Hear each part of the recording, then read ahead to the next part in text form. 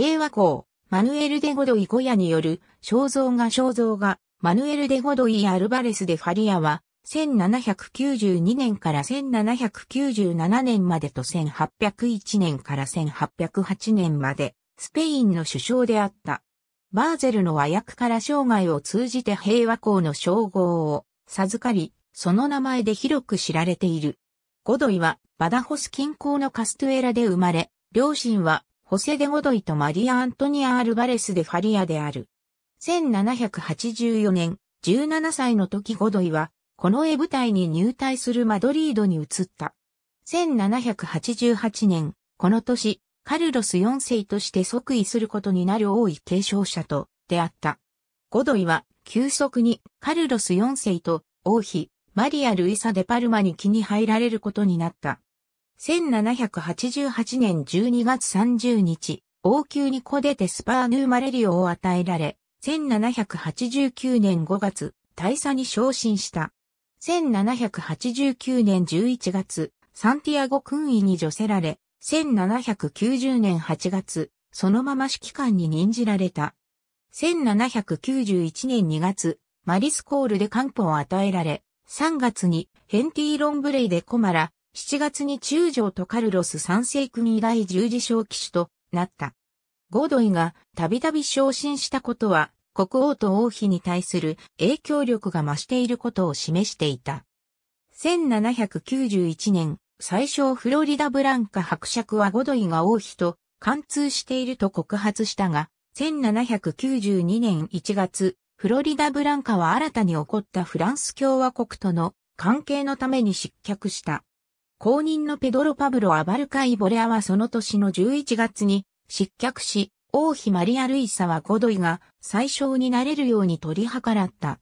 ゴドイの任命はカルロス4世の承諾を得て行われたようだが、王自身に統治能力はなく、有能で信頼に足る人物なら誰でもよかった。ゴドイはグランデクライと共にアルクディア公爵になり、金曜も騎士団に参加した。翌年、大将と末下公爵、アルバレス公爵、外でロマ教になった。ゴドイはフランス共和制に対して中立政策を続けた。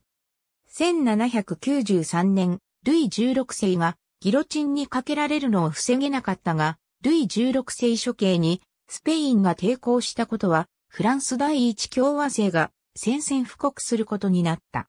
フランス軍はスペイン領内に深く侵攻した。1795年7月、ゴドイはスペイン軍の前線を立て直したが、イスパニョーラ島の一部がフランスに移譲されることになるバーゼルの和訳を交渉した。ゴドイは条約に対する批判を様々なところから受けたが、平和公の称号を受けた。1796年8月、ゴドイはイギリスに対する宣戦布告をスペインに要求するフランスとサン・イルデフォンソ条約を交渉した。1797年、ゴドイはカルロス4世に愛人のペピータと同にカスティリオフィエル伯爵夫人とロカフエル都市爵夫人の称号を認めさせた。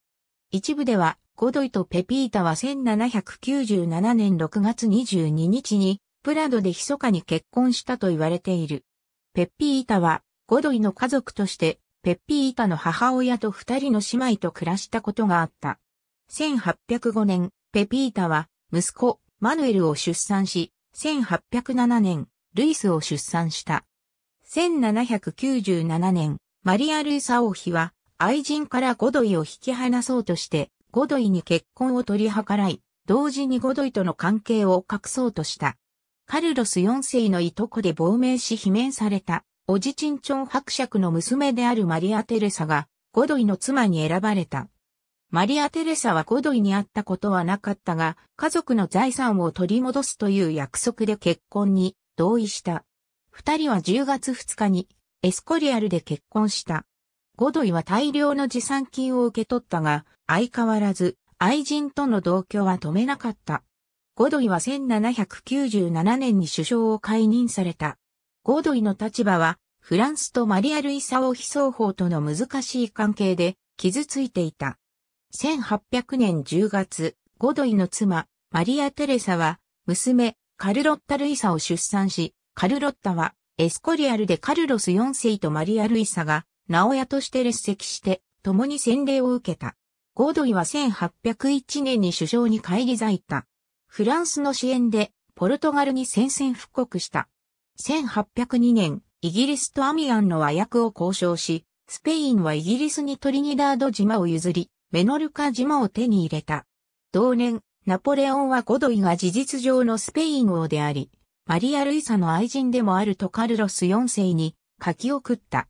この手紙は、ゴドイの手のものが横取りしたが、カルロス4世に渡す手紙は自分が選ぶ必要性をゴドイは感じた。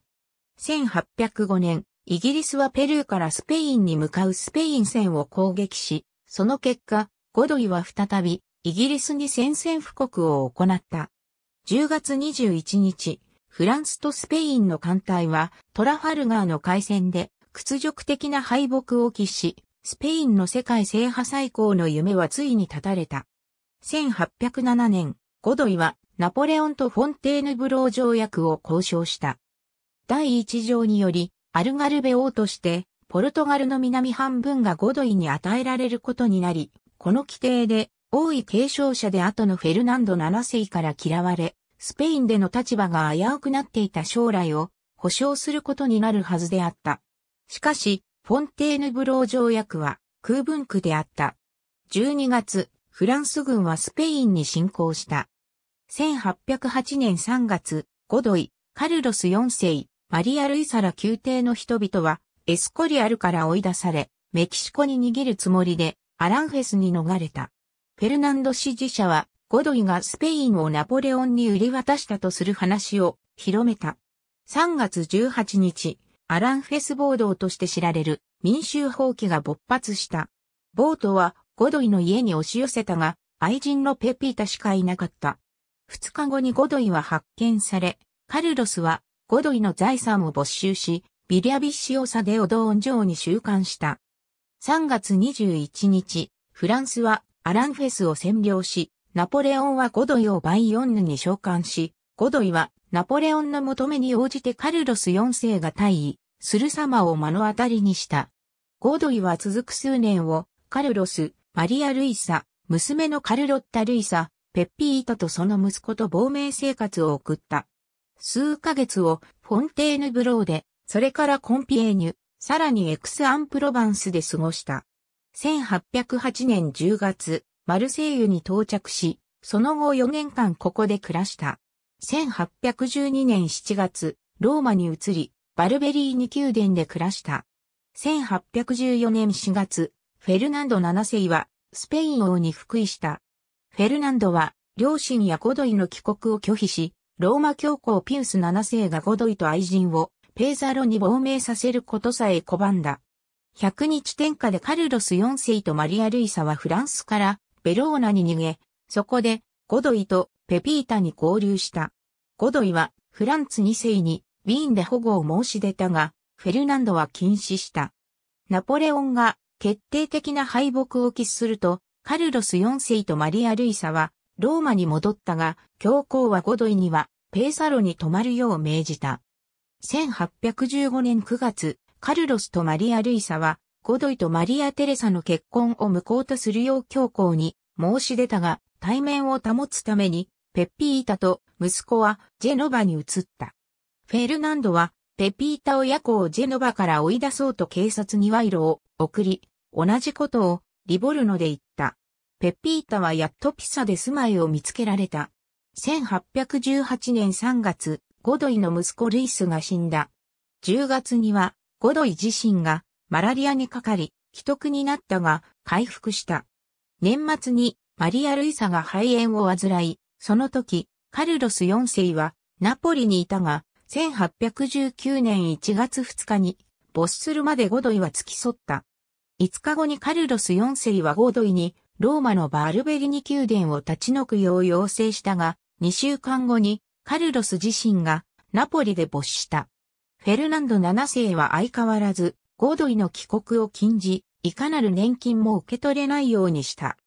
ゴードイの娘カルロッタが王族と結婚することも許さなかったが、1821年ローマの王家の子、ドン・カミーロ・ルスポリとの結婚に同意した。1828年に妻、マリア・テレサがパリで没した。翌年長らく愛人のままだったペピータと結婚した。二人は1832年にパリに引っ越し、いくらか整理された状況で暮らした。1836年、ゴドイは美貌録を出版した。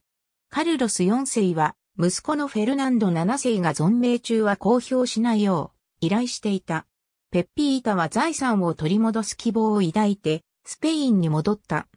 1847年にスペイン政府はゴドイに没収した財産の一部を返し、称号を復活させた。ゴドイは1851年10月7日にパリで没した。はじめ遺体はサンドシュ教会に埋葬されたが、翌年現在も埋葬されているペール・ラシェーズ墓地に移された。ありがとうございます。